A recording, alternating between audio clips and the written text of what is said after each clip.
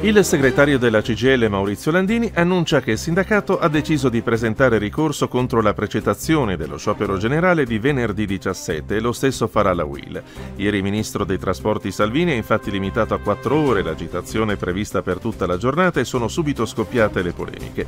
Quella di domani sarà la prima tappa della mobilitazione proclamata da CGL UIL, cinque giornate con scioperi e manifestazioni in 58 piazze con oltre 100 presidi su base territoriale regionale, che poi coinvolgeranno le regioni del nord il 24 novembre e quelle del sud il 1 dicembre.